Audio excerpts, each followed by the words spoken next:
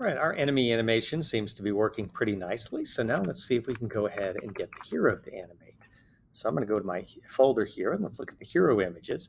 And something that is slightly different, um, rather than just having two images for the hero, right, like the walking images, um, I also have an idle state, um, a jumping state, and you know a happy image may, maybe, and they all need to be facing right as well as left. So um, you know, the hero is going to be just slightly more complex because there's more states that the hero can be in. All right. So in this video, we'll just handle walking, jumping, and idle. All right. So I'm going to get out of the way and we'll go dig into the code here. Uh, so the first thing I want to do is I am going to make my hero an animated sprite. And so where's my an, an anim or my an animated entity? So we'll just change that to animated. And we're going to set it up to take an image list rather than images. And so now I need to go to where I load my hero images. Let me make this window a little bit wider. Okay, and let's see, where is it? Here it is. And I'm gonna just gonna space it out a little bit so it's easier to see where I'm working. And so this is going to be the hero image, but now let's think about what it's, you know, what it's doing. Um, so this is going to be the hero walk, or this is going to be here the hero idle images, and I forgot which way it's facing. They're all facing right to begin with, so we'll call that right. And let's see, so we'll make it a list. And I only have one idle image, so that's fine. Um, you know, maybe you know if you had an idle image, like multiple idle idle images where the characters like you know breathing or something like that, that would you know a little motion, you could put them in the list. All right, let's do some more. So we're going to do the, the hero walk images to the right, and let's see, walk one and walk two. So we'll call that walk one and I'm going to copy that. And we'll have walk two. So I have I got rid of that parenthesis. And I now I've got my list. And we'll do the jump images. This will be jump right. And jump. Is that what it's called?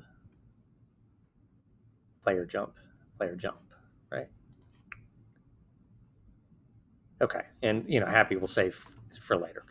Okay, so now we have to take all of these images and flip them so they're facing left.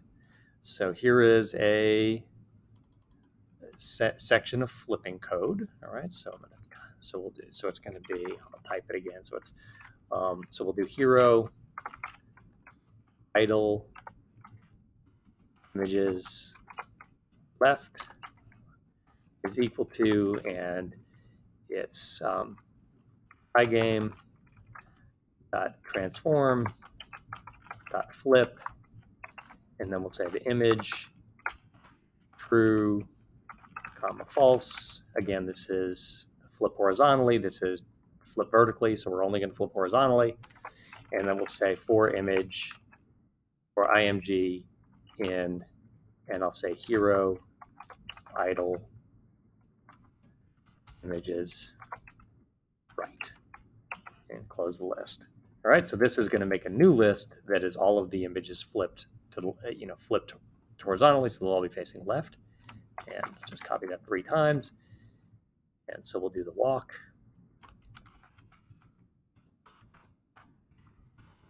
And we'll do the jump. And so we'll do the walk images So now, now the hero is actually six. We have six different lists of images. Um, so we have the idle images, we have walking images, jumping images, um, and both right and right and left. All right. So now, all right. Now that we've got everything loaded, I'm going to run it and just make sure you know. Not, let's say hero image is not defined. Aha. We got to go down to where we set. Um, where we start the level. So I'm in my start level. And where am I making, or it's in my start game, right? So it's hero image. And instead of that, I have to decide what it's going to be in. And the initial state is idle because he's not running. So we'll say idle images, and we'll do to the right. This. And so now nothing changes, okay, but at least we've got the player based on a list of images. Uh, so the next thing to do is just like we did with the um, with the spike man, we need to create a set image list function which decide which picks an image based on the direction the character is trying to, right, is trying to move. Um, find my sorry, I'm all over the place here. I'm trying to find my find the right spot in my notes. And okay, so here we go. Um, all right, so this is, you know, so, so I'm going to copy this to start and, um, and let's, um, let's, let's kind of see what happens. Okay, so I'm going to go down to, I'm in the Spike Man and I'm in the enemy. Let me find the hero.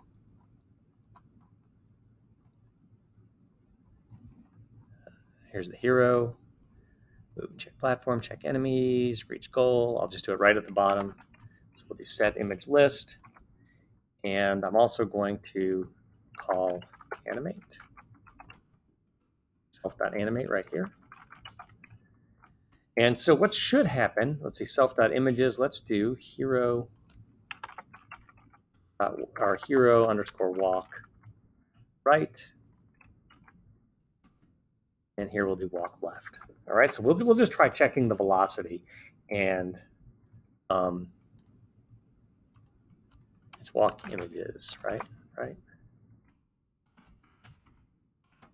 Okay, so, so we'll just uh, set the image list like that, and we'll see what happens. We'll just base it on velocity like we did with the. Uh... All right, so I'm to play the game, and it's a little bit weird because. Um, you know, once the image list gets set, my player is in this walking state, and you know, when I stop, it automatically spins around. So that's not exactly what I want.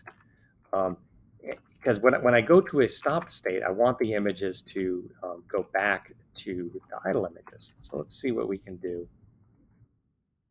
All right, so let, us see what would happen if we went elif self.vx is less than zero. And we'll set it to the images left. And then we'll say else self dot images equals hero um, images. And this is where we're starting to run into a problem. So I'm just going to pick right, and we'll see what happens here. Okay. I'm going to run.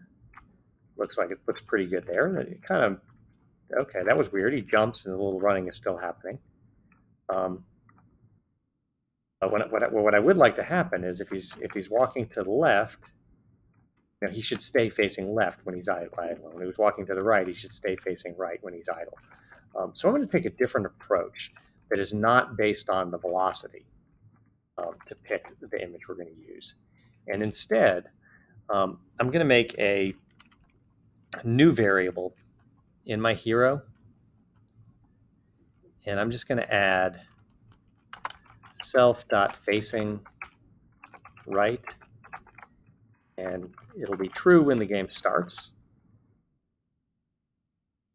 And so when I run, what I'm going to do is change my move left to do to say self dot facing right is equal to false. And if I try to move to the right, then I'll say self dot facing right is equal to true. Right. So now we, we, we have, we're going to be able to maintain the, the direction we're facing without necessarily, um, right, without necessarily um, looking at the velocity, right? So, the, you know, it's, even when we stop, we're, we're still keeping the direction we're facing.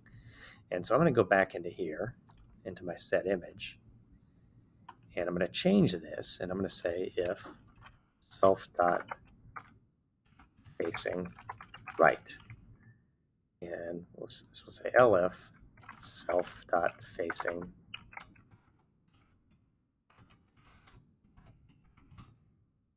right facing left. And actually I could just say else right? You're all you're always facing right or you're facing left. And so this is a different way of handling um, basically the same thing only now all right let's let's run this. And it looks like it's good except for that I keep running. But now we now we do have a way to look at the velocity. So what I can do is I can say if self.vx is not equal to zero, then we'll do the, the walk images, else self dot else we'll say self dot images equals hero idle images right. And so we'll down here, we'll do the same thing right here. We'll say if self.vx is not equal to zero,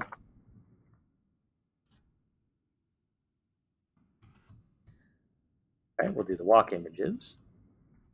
And otherwise, we'll do the um, idle images and idle images left.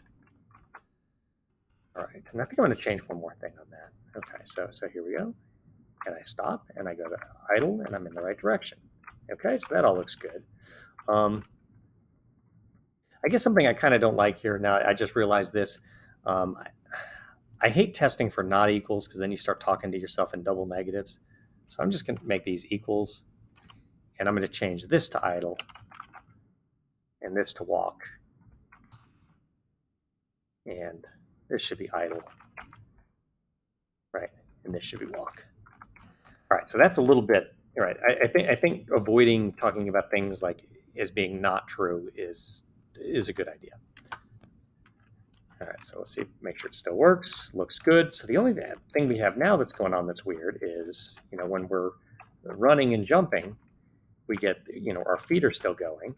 And if I jump straight up, I go into my idle phase when I'm falling, and then I run. So that's a little bit weird. So what we need what we need is another way to detect, hey, you know, are are we jumping? Okay, so let's say, okay, so I'm going to go to my hero now, and all right, so what I'm going to do is make another variable that's we'll do self.jumping and that's equal to false when the game starts. And when we jump, we'll just add something in here. This is the place where we allowed the jumps. I'll say, okay, this would be a great place to say self.jumping is equal to true. So once we jump, we, have got ourselves in another, another state. And um, the jumping state should override what happens with the velocity. That's the most important one. So if you're jumping, it should be a jumping image over everything else. So let's, I'm going to go to the front and I'll say if self.jumping, make this an elif, and we'll say self.images equals hero jump images right and I'll kind of copy that same block down here. And I'll make that an elif. Okay, these all we have to make sure that's an if, elif, else, because we should only go down one branch in either case. And this is going to be the jumping left. So let's run this. This is looks good, looks good, looks great when I jump, and oh no, I'm stuck, right? I'm stuck in the jumping in the jumping stage. Um, so the last thing I need to do is figure out a way um, to find out if I am actually right, if I am actually on the ground. And so um, we are already checking. Uh, let's see. Yeah, we are we are checking the platforms um, every iteration of the game loop. And let's see, move and check platforms and and here's the part where we move in the y direction and we nudge ourselves you know, and this is where we're doing the up or down motion. Let's see, if the self.vy is greater than zero, this is where we're moving down. And this is the place where we have decided if we have hit something. And so what I'm going to do, say self.jumping equals false right here. This is where we have landed on a platform. And so we're no longer jumping. And so we'll run around, I'll jump up in the air, and I land on the bottom. And there we go. All right, so let's see. That look, looking good. All right, I think that does it uh, for this video. Now, I, I will keep keep this in mind that um, uh, I guess doesn't quite do it for the video yet. I'm still talking, but uh, you know, this is maybe not a definite, hey, you have to do it this way sort of video. Um, I just want you to understand that this set image list, you know, function is what you're going to use to choose the image list. And really it depends on, you know, the whole set of images you have um, for, for your character um, that'll decide how this is structured. And you'll have to decide, does the jumping image matter? You know, should jumping the state image override any other state? Uh, those, those sort of things, all right? Um, so I, would call this like a technique video more than a absolutely have to follow, um, you know, to the letter sort of video, all right? Um, so that's it for this video. And I guess I'm getting, you know, close to the end of this whole series here. Uh, so hope you're liking it and let me know if you have any questions.